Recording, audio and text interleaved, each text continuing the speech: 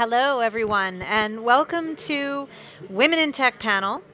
Um, our topic today is emerging business models for music and artists.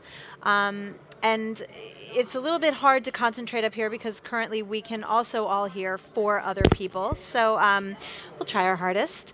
Um, my name is Ariel Hyatt. I come from New York City, and um, I run a marketing and PR firm for musicians. And we also built a platform that helps them connect to their fans. And I'm going to let everyone on this panel. Uh, first of all, it's really nice to be on a panel with three other women. This very rarely happens in the music industry. Um, we're going to start all the way on the end. And if you could give us who you are and what you do and what a day looks like for you. I think that would be a, a nice way to kick off. Sure. Um, actually, I've been here a couple of hours before at 11. I was speaking about music curation. My name's uh, Andrea Magdalena. I am head of community at Mixcloud, which is a platform for DJs, radio podcaster, radio presenters, and podcasters, where they can upload their uh, content. They can connect with each other, and they can use Mixcloud as a as a marketing tool, really uh, and for listeners to enjoy all of this content in one go. Um, I've been working with Mixcloud for almost a year now, so not that long. So I can't say I've been in the industry for too long, but it's moving so fast that um, I feel like I've learned like one year has gone as ten. Um, What's your day like? What's my? What is your day like? What's a typical day in, the, in your life? Right. Well, that's that's a pretty harsh question because um, we're a very small team. We're about 12 to 15 people in total, and I say to 15 because we have a couple of them working uh, part time from uh, other countries as well.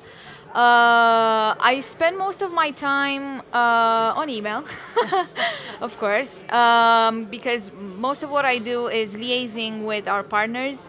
We have all sorts of partners from power users, as we call them. Um, they, they would be high profile artists or festivals or venues, down to um, speaking to your average user, just making sure that we are connected and that we have a, an open communication channel between, uh, between us.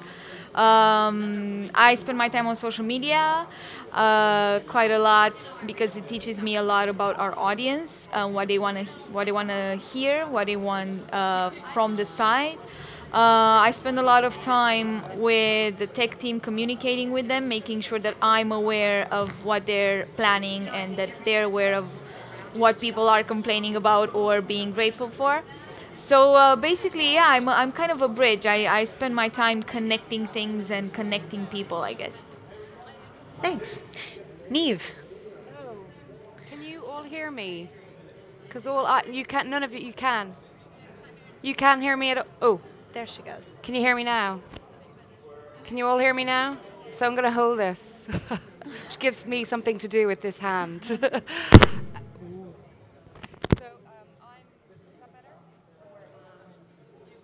Um, no sound. We're going to give you a hand mic. Et voilà. I might start singing now. Um, so I'm Neva Riley. I'm uh, director of digital at Sony Music.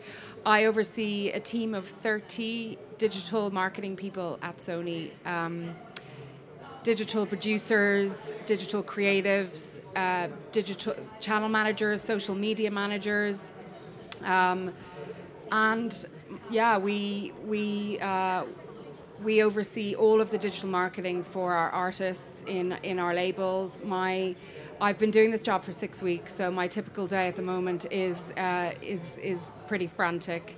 Um, I start the day at nine, and the first thing I do is I look at the charts. Um, the second thing I do is call the sales department and ask them if the charts are what they were expecting, if all of the sales are what they were expecting, and then I might catch up with um, my team and look at you know what more can we do. We would take a look at all of the analytics on our social channels. Um, we would look at whether um, um, what you know traffic to our websites are. Um, we might, I might have a meeting with uh, somebody who's had an idea for an app, for example, who wants to see us. We would make time to see um, people at Mixcloud, people at Buddy Bounce. So we, it's it's our job to know what all of the new cultural trends are, what the new technical developments are, so that we can um, use these to uh, really promote all our artists and make sure we're completely in touch with um, our artists' audiences and their fans. Um, and really, my team spent all of their time and all of their day having those conversations with fans, listening to fans, doing research to understand what um, fans of our audiences want and, and how we can engage them and how we can ultimately turn those fans into customers, because that obviously is the key to uh, what we do. And how many bands are you looking after?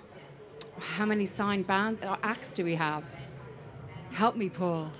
I mean, hundreds. Hundreds. We, we hundreds. So we third team of thirty for hundreds. Hundreds. Of, okay, amazing. And not just new acts, but we have a, an enormous catalogue of superstar artists. We're constantly trying to inspire a new generation of fans for our catalogue, as you've seen with Bowie.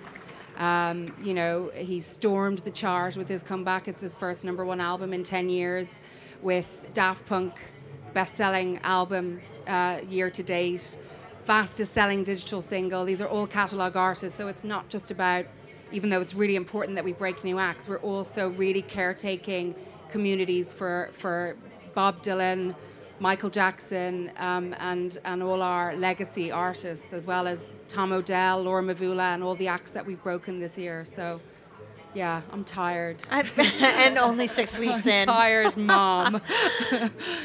Emma. Hello. Hi, everyone. Can you hear me? Yeah. Okay, yeah, that's, that's easier.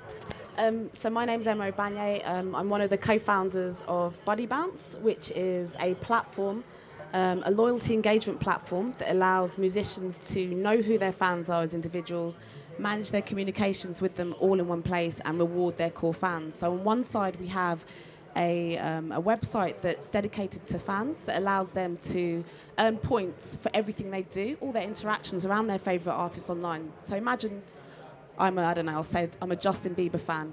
Um, I may tweet about him, I may watch his videos, listen to his music, and a whole host of other activities. I get points for all of those things, and um, I become part of a community um, around him on Buddy Bounce, where I get to see all of that content aggregated together in one place. Um, I also earn badges for all of my activities. So if I'm an avid YouTube video uh, YouTube video watcher, um, I'll earn a viewer badge. Or if he's if he follows me on Twitter, I'll get a groupie badge, that kind of thing. Um, and so we gamify your fan experience. On the other side, we have a powerful dashboard for um, Justin Bieber, his management team, his label, that allows them to again know who I am and actually um, use me, sorry, communicate to me in the best possible way, but also um, reward me if I am a you know a really influential or uh, super fan. So yeah, um, so we've been doing this for about three years now. We're a team of about six people, so a really small team. Um, and it's my day to day is just it's, it's manic. It involves basically everything. So from communicating with fans via social channels to um, you know talking to or, or arranging meetings with the labels, with management teams, um, talking to investors as well because we're fundraising at the moment. Um, literally everything that you can imagine that goes into running a business. So biz dev t- tasks, admin tasks, everything. And are you a developer? Um, I'm not, but I came from the tech world. So um, I started out as, um, or sorry, my last role was actually a project manager, project manager within the tech world, so an agile scrum master. So looking after tech teams um, who are developing mobile apps, um, interactive applica- TV applications, and websites. Okay. Um, I'd love to know who we're also talking to because we're a small group, and you're obviously sitting here because you're interested in emerging technologies and music. And um, since there's not that many of us, who here is just here because you're interested in music and tech, and it's a general conversation you want to hear? Who's a developer? Is anyone here an artist? Okay. Anyone here managing artists or currently working in the music business? And by, by that I mean doing something, uh, working towards, yeah? Did I miss anyone? PR? Marketing, I knew it, I can tell. Okay, perfect. So, um, we began to have a talk in the green room about sort of this general topic of emerging business models for music and artists. And I think the thing that we all came to in our quick 20 minute prep was to succeed in anything around musicians and artists, it's really about one thing it's about engagement. It's about creating plans and systems that foster engagement with fans, between fans and artists. And we got to talking about this, this bizarre word emerging in tech because um, I think we, we all agree that there are already established platforms. The big three giants in the room, obviously being Twitter, Facebook, YouTube. These are platforms that we all work on every day. It incorporates everything we do. And then there's outliers, which may help or are helping individual communities um, bring up artists. So um, I wanted to dive in and talk also later on about the type of artists that are, are breaking through and how they're doing so. And we mentioned radio stars, YouTube stars now beginning to come up through the ranks. You're getting a lot of requests for YouTube stars. So, um, should we talk a little bit about about emerging? Is there is there a platform or something specific that you like to use when marketing artists that you would consider emerging, or do you do you ladies stick with the big six? Um, shall I start? Please. Um, well, we consider our site itself to be a platform where emerging artists can um, launch a career. We have quite a few good case studies about that. Uh, one of which I've spoken about earlier on. Um, there's this collective called Selection Radio. They started uh, out in Long Beach, LA, about three years ago, maybe less. Uh, Mixcloud is four years old. It's going to be four years old uh, in a couple of weeks, actually. Um, and what they did is basically they started as a couple of people passionate about radio, uh, passionate about music, and um, sharing music via radio. Uh, so they um, they did something like um, a DIY radio station uh, that they were doing every Saturday morning, and then they were uploading all of their content on Mixcloud, and then sharing it as much as possible uh, via social channels such as Twitter, Facebook, Instagram is really big in the states, so. Um, that was again a main a main asset for them. But basically, in terms of content, the content itself, uh, they put it on Mixcloud and they built a huge fo- number of uh, followers and engagement and comments and favorites and tweets and everything that you can do now because all of these platforms are so um, uh, integrated with each other. Um, so uh, yeah, right now they're uh, they're massive. They're they've got a label as well.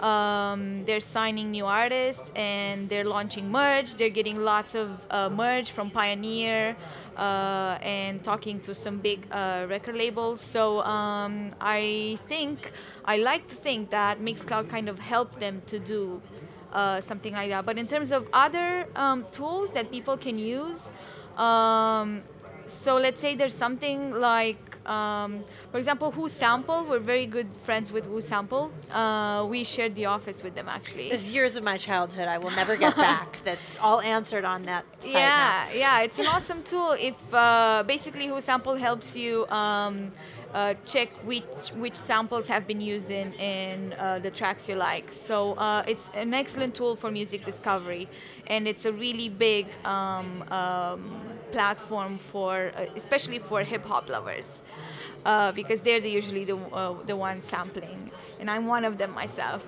Um, I mean, lovers, not samplers. I wish. Um, but yeah, WhoSample, there's also something called um, Top DJs, which is not necessarily a platform where you um, launch yourself or you promote yourself, but you can study other people uh, doing so and what works for them. So they basically they aggregate all of the data from Twitter, Facebook, Instagram, and other social social channels, and they create charts for the most successful artists or DJs uh, by country, by style, music style that they um, that they do, and that's a really good example for your bedroom DJs to, to look at and, and uh, learn what's happening. But overall, I think uh, the content content is still king. So no matter which emerging platform or already established platform they use, content should be their primary focus. As I always say, content is king, but curation is queen. So, Neve, Totally agree with that. I, I do. I think you. Well, considering you're a curator. Yeah. Um, Yeah, um, I was just going to to add to that. So Yeah. with Buddy Bounce, we actually integrate with um, a number of different platforms. So obviously the big three: Twitter, Facebook, YouTube, and those were the first three um, applications or sorry platforms that we integrated with. And because we're such a small company, we're very agile, so we're able to move very quickly. So when it came to adding um, some of the other platforms, we looked at what our or the users of our site were using. So Instagram, I think, came next, followed by Tumblr, because those are applications that you know. Uh, young, well, predominantly sort of female uh, teenagers are using. And, um, and what we found, or what you find anyway, is that um, when there's an API attached to it, you know, it, it is pretty popular because in order to actually get to that point where you're going to develop an API, you've got something, you've got that traction, you've got something going on with your product. Um, but we openly sort of, we want to integrate with anything, any, any platform that um, fans are on and fans are actually sh- where fans are actually showing um, so anything that's beginning to affiliation. pop, you, you yeah, begin to any swallow any up. platform Yeah. that, that fans actually use in order to um, talk about or consume anything related to their artist, we we, We want to we wanna monitor. use. Yeah. So we've had a we've had an addition stuck in traffic. This is Lily. Sorry, I'm late. Um, we started off by just saying who. Please say who you are and what you do and what a day in your life looks like, and then Oh, we'll, we'll stressful. um, I'm Lily Mercer. I have a website and I'm a kind of music journalist for freelance. You know, I work, write for magazines like Clash, uh, Noisey, Written for ID, and I'm kind of starting my own magazine, which is the new excitement. Yeah, so that's my daily thing. I also have a radio show on Rinse FM, which is a weekly thing. That's 1 till 3 a.m. So listen, it's very late. um, but I play uh, underground hip hop, almost entirely unsigned artists uh, on some shows. But yeah, basically people who are kind of maybe not played on regular radio stations. So yeah, and a daily uh, routine is kind of, I guess, combining all of those things. Um, updating my blog, writing an article. Uh, sorting out my magazines, editing features, and then also ra- planning a whole radio show. Um, and interviews as well, that's a real strong point of my show, and also the writing side of things. So I've interviewed people like Nas, Mary J. Blige, Wu Tang, and Pete Rock. So that's kind of an average thing as well if someone's in town. That's so average. Oh yeah, just hanging out. Yeah, oh, you know, great. Pete Rock, no big deal. No, it's, it's not. I mean, yeah, there's a few kind of sitting on hand moments with those kind of people, but uh, yeah, no, that's not a regular thing. But when it does come around, it's really exciting. Very cool. Okay. So, um, as you know, the topic is broad, and we started off also by sort of just chatting about uh, emerging technology versus the big three Facebook, Twitter, YouTube. How are people finding music? Um, and we were just getting a little input about really what we're trying to get to with the use of any tool is are fans engaging with artists on them? Are they using them? How are they using them? And then Neve brought up something really interesting, which is exactly the conclusion that you come to and I came to, and I'm sure you'd agree. Um, if you're a music marketer, the aim of any sort of platform that you use and any sort of emerging technology that you might become involved with comes back down to do you control the communication between you, artist, team of artists, and fan? And the answer to that is do you really have their email address? Um, so I'd love to talk about that, and I'm fascinated by this on so many levels because it works if you have 100 fans and it works if you have a million fans. What are some technologies you're using to capture information or techniques, tactics, tools that you're using to get email addresses from fans? Are you finding this is a new struggle? Do you have to constantly iterate to do that? And I'll sort of throw that out to all of you and Yes. Um, yeah, uh, we have something like 12 million interactions with fans online every day. So that's like four billions in a month. And for for Sony and for our artists, our biggest concern is how can we turn those fans into customers ultimately? and that's our goal. Is how can we, you know, we, we it's it's our responsibility to artists to make sure that they we can reach scale for them and we can, um, you know, manage their their manage that you know make it commercially viable to, to make music. So what we've tried to do is is look at how can we turn those Facebook likes or you know Twitter followers or followers on Instagram, Vine into customers. And one of the best ways to do that is to try and turn Facebook likes into email addresses. And actually, there's a big opportunity there for developers. If anybody out there has ideas on how, you know, we have things like Neolane and Social Miner. I don't know if anybody's come across any of those. Have you used those? Okay, so they're kind of CRM tools, so customer relationship management tools that are given to us. They're not that expensive, but they really, you know, they, they, they, they're not. Uh, let's look at what works. The things that work are, you know, where, where there's a great brand like Spotify, iTunes, Twitter, Facebook um, where the technology works and it's easy to use, and where that brand has an association with music and has the credibility to sell music. So they're the three things that work. They're, these are why music services have succeeded, and it's why some music platforms have, have failed because they haven't cracked those three things. So so for us having having say a facebook app tab which you know maybe incentivizes people to leave their email address in exchange for a free track or for some exciting content or for perhaps you know some meet and greet that we might do with buddy bounce or um, you know some exciting piece of content that gives the band access gives the fan access to the band. In, in a way i suppose imagine an old school fan club you know uh, from 20 years ago with unrivaled access to a band and amazing content. Um, and that's what you know we like to do with, with our followers on Facebook and any any kind of social social platform that exists. We try and give fans content in exchange for their email address and we have found that email is the most successful way to drive purchase you know you can have the engagement through all these other things but if you want to sell music to fans, the best way to do that is to have that personal conversation with them through email.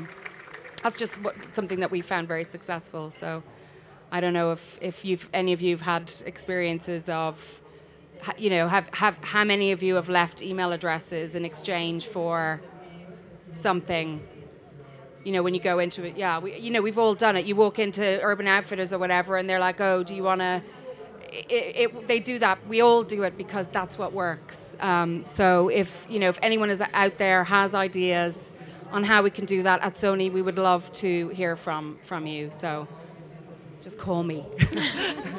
but because the you know the experience is it, it, it, it's amazing to me that there's nothing out there that does that in a really easy way. You know, it's still quite clunky, and any of the apps that, that are out there tend to kind of you you know you, you click back and then you're back on the I back on the Facebook page? Where am I? I left my email address. I've no idea. I didn't get a confirmation email. So I think that's a really interesting opportunity for all of us. So for those of you that are interested in music marketing or PR, this sort of D to F, direct to fan, is a conversation that started a couple of years ago, and it's still very much alive, very much in play, as you can hear. Um, I'm on the opposite end of the spectrum, um, working with bands that are just emerging. Maybe they only have 100 names on their email address, very different from, say, a Michael Jackson, um, where you have millions of rabid fans. But again, all the tools that we use at our company all point to this. It's how do we get as many real email addresses, real names, real fans? How do I, we identify them? How does that translate into radio and what you're doing? Clearly, you're building a platform around yourself, Lily, and around your curation. Now you're writing. Does this come into play for you as a I want to say persona, DJ? Well, weirdly, I mean, I know basically I got a radio show because of, of, me being a blogger, so it's kind of like primarily I feel like I'm a fan of, you know, the artist that I'm playing. Um, and I found that with Bandcamp, when I kind of found certain people in Bandcamp, you had to give your email address in order to get a download. So, which I think is a really clever way because most of the music's free, so it's kind of like a fair trade-off. You know, you're getting free music, you're giving them your email address, but it also means that you kind of get a push whenever whenever they release something, you're one of the first people to find out. So I think that that also it builds the kind of inclusiveness of the artist as well and their following. Um, but th- then at the same time, not everyone uses Bandcamp, so it's kind of like maybe if there was like a SoundCloud equivalent. Who uses Bandcamp? Hands. One, two. Anyone? Have you guys heard of NoiseTrade? It's wonderful. It's a sort of the same concept. SoundCloud. Who's on SoundCloud? Okay, most of you. Interesting. Um, they push too. You know, yeah. SoundCloud, you do get an email when someone you're following does upload something, and even people um, that submit music to me, they often do it via my SoundCloud. So SoundCloud sends me an email saying this person would like you to check out a song. So that is something that I regularly use just to kind of follow these new artists. But yeah, I feel like that's not really the same thing. You know, I wouldn't really go to that if it was like a 50 Cent. I wouldn't. I'd never follow 50 Cent's Bandcamp because I'd be like, what's he doing on Bandcamp? So right. Yeah. So it isn't the same. It's like you say, it's better for an emerging artist. I think. Well, it's interesting. There's different platforms. I mean, everybody's on Twitter, right? Everyone's on YouTube, everyone's on Facebook, but then you have, you know, different varying levels. It would be a little strange for 50 Cent to be on Bandcamp. Um, you know, it's just not the place. So I think you do have to know your place as you're coming up through the ranks. Um, totally are you only working with artists of sort of the teen, tween, fanatic um, level? So when we when we launched into Alpha, we invited I think it was Justin Bieber fans on the platform, mm-hmm. and essentially with Buddy Bounce, before we create an artist's page, you have to have a certain number of requests. So we don't just create a page for everyone. Can I, can I ask how many that is? So at the moment we have 80 artists. Oh, that's it. Oh, no, I mean, sorry, how, many, how many requests? Yeah. Hmm. So around ten usually, around ten requests, and we'll we'll create the page, and then oh. we'll inform the fans on on Twitter, and then create it. Um, but at the moment, for example, with One Direction, we have like a hundred, I think it was 140 requests for Niall on his own, but we've refused to create the page just yet because at the moment it is it, it is predominantly about the actual artists you know so one we've got a one direction page. But i was going to say neve is okay to come in and see you next week? There you go. Brilliant. Um but my favorite too obviously. Yeah.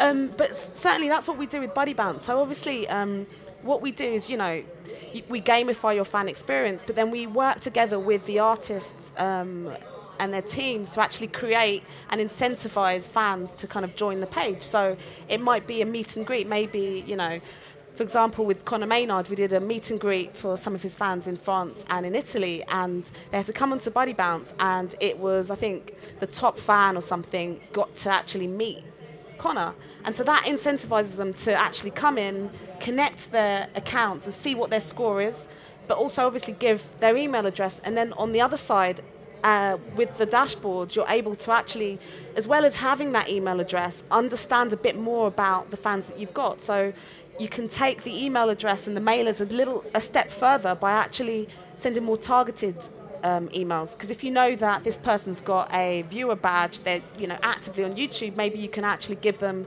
first sample of your next, sorry, first watch of your next YouTube video. And so you're incentivizing them, but also um, helping to kind of market um, whatever it is that your you know that your new video or whatever.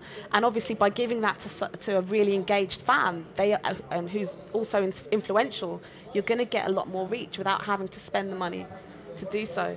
So yeah. So to answer your question we're, we're taking with buddy bounce we're taking the email addresses a step further and actually allowing you to have actionable insights with your targeting. So um, again, this, this bizarre topic of sort of emerging business models for, for artists and musicians, I'd like to, to turn it back to the other side. So, if you are interested in being in the music industry, um, where do you see opportunity for for people that want to support artists and support bands and get into the business, um, I'm of the mindset that there's never been a more exciting time to work in this business if you have ideas that people want. Um, and if you have something that's innovative, and I think you can always make your own economy. Um, it's a little harder in music than I think in, in any other place. We were beginning to talk about just how many apps we've all seen come and go, either the hot flavor of the year that disappears six months later, and sort of the crushing reality that people didn't really want them anyway, or something better came along that sort of put it out of business. Um, so I'd love to, to hear from you about A, if you were trying to get into the industry, where do you think a good, healthy, emerging spot to put your butt would be, and then B, um, what would you caution or what would you? Let's just to go with that, and then we'll do part B. Emerging, emerging job opportunities. At Sony, we have seen some great app ideas, and we've also seen music services come and go. So when I look at what, like I said, I said in my before, you Spotify, iTunes, Vevo, you have to know your audience. You have to understand what need is being met by uh, your idea. So, what need is being met, and, and and how is that need not being met already elsewhere? Because if it is, then it's going to be much more difficult for you to um, launch into that market. And then the other thing is, how how do you create demand for this thing? Because we get a lot of people coming in, they say, I've got this great idea for an app and it's fantastic and it does X, Y, and Z. And we think, yeah, that that sounds you, you know, you really you obviously it's something that you really want and you feel really passionate about this idea, but how are you going to create demand? Um, and something we do at Sony, which we're very good at, is identifying audiences, knowing our audiences. We invest heavily in research and insight, and our research and insight team are there for people who have ideas. If you have an idea for a music app, come and see us, and we will introduce you to our inside team, and we can research whether this is something that music fans want. Um, yeah, does that? Yeah, There's totally. something, um, there's something I'd like to add to that because um, you are right. So it's the, the first thing you need to start with when setting up uh, a new uh, music service, considering there's so many of them out there already, is to satisfy a need that, that the audience have. Um, and then creating the demand, but also you can always um, try and fix the same need that people have had for ages, but come up with a creative solution to that need. So, for example, I think in in the case of Mixcloud, it's a combination of these two things that happened that made us survive um, and that made us still be out there. Uh, so for one, we kind of helped people who wanted to dig up mixes um, easily, share it with their friends. Like about before Mixcloud, the only way you could find mixes was through illegal manners. So we kind of fixed that issue as well. We fought a lot. Um, actually, the legal aspect of the business was one of the most difficult uh, parts that we had to fix, um, and thank God that happened. uh, and then, from a technical perspective, we have an amazing team of people uh, constantly working on improving it. Uh, so I think we're pretty much there as well. But what we did is we saw people we saw people passionate about radio passionate about dj mixes uh, and about extended audio as we call it and we came up with a product that allowed them to access that content in a legal way so that everybody could uh, access it freely no matter where they are no matter who they work for uh, no matter what they do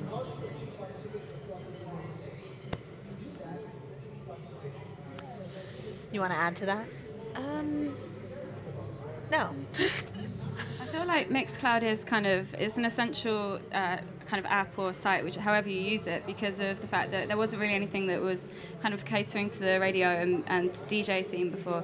Because like that's the thing about SoundCloud, Mixcloud, and all the apps there are, they have to be kind of an essential you know way of listening to music and stuff. And like with mixcloud you can actually like i have my own mixcloud you know page and uh, you know you timestamp all the songs. And i feel that that for me it's like if you're listening to my show that's probably the best way to do it. Even though i obviously push everyone to the rinse website i have a mixcloud too because i just think like a lot of people maybe don't want to listen to the full two hours or maybe they just want to see what i played so it's a it's a, a different way to listen to it and i think that that's the, problem with you know the way that things survive these days if there isn't an essential need for it then like you say there's a million apps out there doing very similar things, but what makes that kind of stand out and make it like the one that you have to have? So. Well, I often, in, my book, I talk about this. I say, you know, you want to feed people as a marketer or as a, as a band, you want to feed people where they want to eat, right? So, uh, you know, I'm personally, Twitter is my social media drug of choice, and that's where if you want to get a hold of me, at CyberPR, I'll answer you 100% of the time. Leave me a message on Facebook. It might take seven days till I even get through the glut on my inbox. So you have to remember as a marketer that yes, exactly. Someone might not be listening to you in the format that is the most ideal for your business, but they might be wanting to watch you on YouTube or, you know, stream you on something else. So there is that. And as a marketer and as a developer, you want to never exclude things. And I think that's another reason why we see failure so often in new apps is that they don't get the, the pickup and the agreement. Yeah, I was just going to add um, people, the biggest change that's happened in, in, in since 2006, since downloading um, happened, is that people aren't browsing and buying in the same place anymore. So in the old days, you went into a record store and you browsed. And quite often you walked out of there with music that you hadn't intended on buying. You had like an impulse purchase because you're browsing. Now people are browsing on YouTube, they're browsing on Mixcloud, they're browsing on Tumblr, they're browsing in all these different places for music. And we have to be there because the buying is happening on iTunes or the buying is or the streaming is happening on Spotify. People go into iTunes because they know what they want to buy and they don't necessarily do their browsing there. So I think that's really important, you know, just to follow on from your point, Lily, that, you know, how can we create opportunities for people to buy where they're browsing, and that doesn't currently really exist. I mean, there are ways, there's uh, integrations with uh, iTunes in, in Facebook uh, tabs, and you know that helps a little. So people who are on a Facebook page can actually buy straight off the Facebook page from iTunes. But you know, that how can we? Is there a way for us to replicate that browsing and buying experience? Maybe there isn't, but that would be really interesting for us and for our artists if we could find a way of doing that. And then I just want to add to that before we open up the floor to questions. It's also not only about browsing and buying, but I think I talk to a lot of frustrated artists who are really upset. I'm not selling enough. I'm not selling anything. I can't seem to sell my stuff. And I'm like, okay, well, where are you marketing? Facebook. Okay, when was the last time you went to Facebook with your credit card out ready to buy? That's just not where people buy. People don't buy on Twitter. So, hey, buy my stuff, hey, buy my stuff is not an appropriate message if you're not in the place where people are purchasing. And I see that as a misalignment consistently.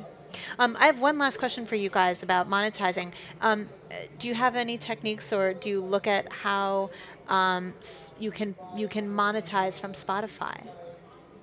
Or is it just that ship sailed and that's how people are going to digest music? They're going to stream it, they're going to listen to it, and maybe they're not going to become buyers? Well, um, there's there's a general trend uh, out there now that people stop buying and they started streaming a lot more.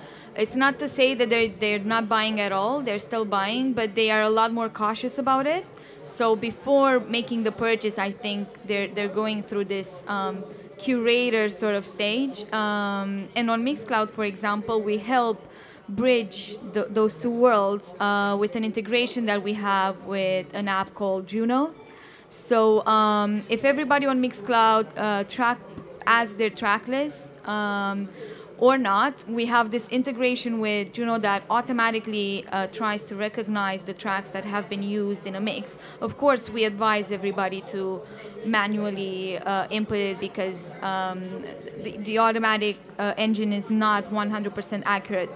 So whenever that happens, uh, there's a buy link next to the, the name of the track so that people can go on Juno download and, and purchase the track.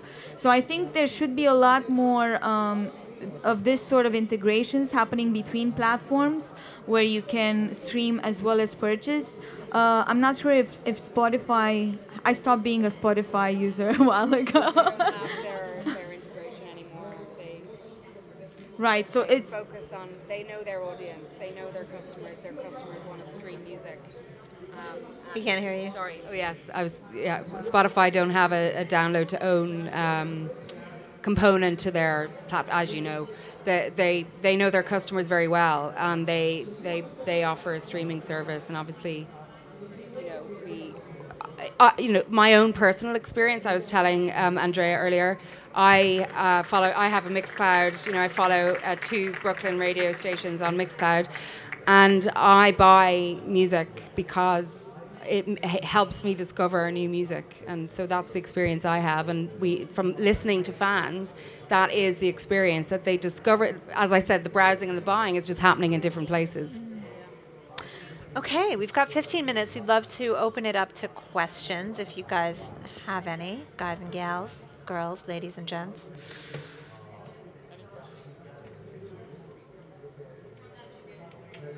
Man in the red. No, lady in the blue. Hi. Hi. Um, my question is sort of not really to do much with technology and sort of what you guys been talking about, more about, more about you personally. Um, and obviously, as a female, um, I wanted to know what you did before you got the jobs or the roles that you're in now. Have you always wanted to be into music? Um, if so, sort of how did you get into it? And also, um, it's sort of two parts to the question. Um, the second part is more along the lines of um, you as individuals. So, is music something you always wanted to do, or was it something that you had a passion about, or, or but but you had like other passions, sort of in different industries? And how did you make come to that decision that this is what I wanted to do, and you know stuck by it essentially? Does that make sense? It does. Sure does. Cool. Shall I start? Yes. I, I I'm probably the less the least musical person here. um, I actually don't have a background in music. Um, I was a geek when I was young, and um, I accidentally stumbled into startups to begin with. Um, after I graduated from media, multimedia, and communications here in London, uh, I kind of found um, a startup called Internships uh, that helped me um, grow in the tech industry. And then through tech, I managed to uh, find the people who founded Mixcloud. And Mixcloud kind of bridged all my passions together because I've always had my my toes dipped into a lot of music musical pies, to say that. Uh, either you know like mostly event management, festivals, and that sort of stuff, but never as a musician myself, or as a DJ, or as a as a radio presenter. So uh, I guess it was a bit of a happy coincidence for me. I uh, wanted to be a journalist and I wasn't good enough at writing.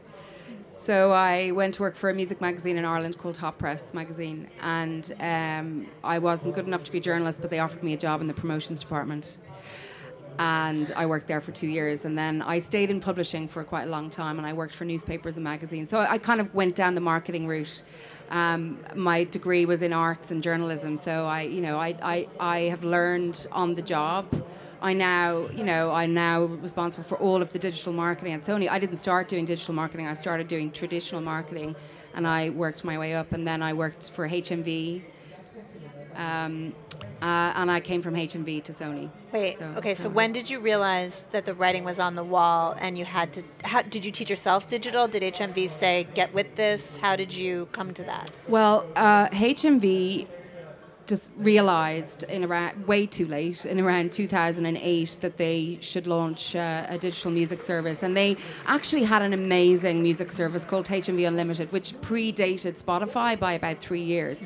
But they didn't invest in it and they and they didn't quite know you know their their real their key you know their their stores were their uh, crown jewels and and so they didn't invest. But I, I uh, somebody went on maternity leave and my, the e-commerce director said, you know, if you don't do this maternity cover, you're going to be stuck doing marketing, managing Ireland for the rest of your life, and you should do this. And I said, well, what if I, what if she comes back from maternity leave, which she did, but you know, then uh, I took the risk and I learned, you know, in a kind of a low risk area where HMV Unlimited was, you know, our, our marketing budget was twenty thousand pounds at the time, so I could make mistakes, and it wasn't. Uh, so I guess my advice would be, you know, I, I was I wanted to be a journalist. All I knew about was music. I wasn't a good enough journalist, but that got me into music. So focus on what you know and find out as much as you can about what you know. And you you, you know, p- people, any industry will want you if you are knowledgeable in in that area. So I would yeah.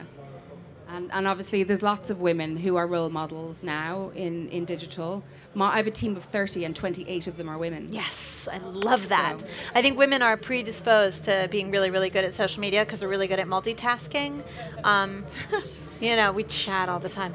I, I want to get to other questions, but please do come see us. Um, we're both entrepreneurs. All three of us are entrepreneurs, and probably have something to say about that. Hello, I am Gustavo. I come from a country that the people don't spend so much money or no. A lot of people don't purchase music. So the first question will be like for the Sony, for example, how much is a lead in the industry for Sony?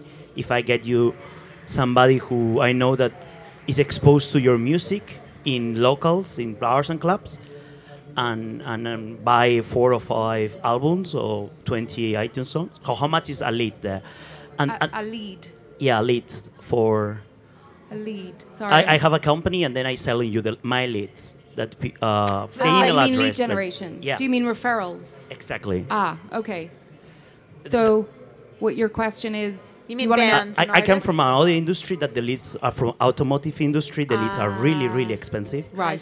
So now for the music industry, Yeah. I want to know how little is or how big is compared to au- automotive. So So, I mean, I, I I don't think anybody would would I I can't share the affiliate programs that we have with you. I mean, I could talk to you about it afterwards if you want, but the we have referral programs with all of our retailers, um, and you know it, it's it is what it is. It's uh, it's definitely a way for us to understand more about how effective our advertising is, because if we look at the lead, you know, the, the affiliate schemes and the reports we get from the affiliate schemes, we can really, the value is in understanding the value of the click on that ad. And I mean, not necessarily the revenue from that lead, but how, you know, how and where the return on investment is happening. So it's valuable to us from that perspective.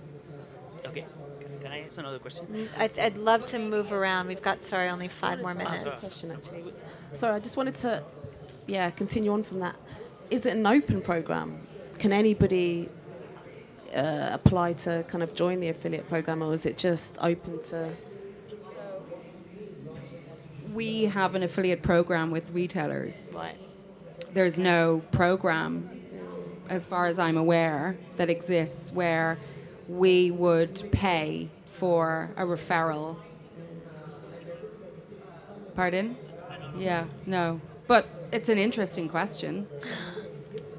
The value, the value for me as a digital marketing person is in the, you know, the effectiveness of the advertising, rather than the value of the commission we make on the, the lead. If does that make sense? Is that does that? Yeah. Hi, um, uh, my name's Guy. I've got a background in music and I've done a lot of stuff in live and recording and working with a lot of artists, uh, including social media. I'm just interested to know from all of your perspectives. Firstly, is the weighting on selling music as what the future of the music industry is the right thing that we're talking about here, or, or are there other means by which we're monetizing the industry, which is really where the focus should be? Uh, I guess I'd like your inputs on where you think the future revenues are going to come from uh, if we make the assumption that sales aren't where the, where the money is. I mean, I'll chime in here. I think nothing ever replaces a live music experience. I think you can just you see it over and over and over, and we're seeing higher and higher ticket prices. We're seeing people doing VIP clubs and spending insane amounts of money because of that personal live experience. So, as long as artists connect to people in a, in, a, in world 1.0 i think that that's always going to be an emerging place. And i think as you know we're huge niche marketers niche marketers that's what we do at my firm what we're constantly seeing is a, a major point of of where our artists make money is very few fans, but each one of those fans parting with a large amount of money, which ends up being a sustainable business model for our artists. It takes a little bit of savvy to do that, but I would say that's a tremendous growth area. Yeah, I was just going to say. I think I guess it depends on the artist as well. With with signed artists to the majors, I guess you're kind of seeing them kind of becoming more and more like brands in themselves, being able to command, you know, quite a, quite huge sums from brands um, by partnering with brands. You know, uh, recently you've seen Conor Maynard partnering with Coca Cola. Um, and other artists doing that kind of thing, and I guess for smaller artists, if you aren't, if you haven't got an advance from being on a label and having that kind of um, all that's you know the support that comes with that, then you've got to look at other ways and maybe I don't know licensing. I don't know if that's a could potentially be a lucrative market if you've got the right kind of uh, music and, and access to companies who want to kind of license that or you know other other means. Yeah. Yeah, of course.